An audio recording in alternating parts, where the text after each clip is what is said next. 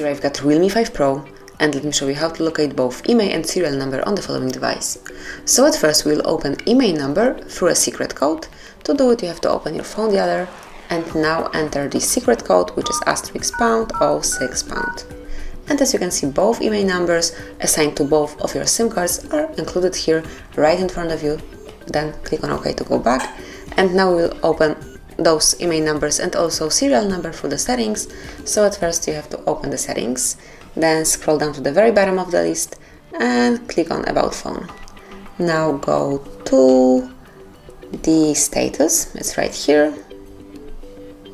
And now here you've got both IMEI numbers and a bit lower right here you've got serial number assigned to your Realme 5 Pro.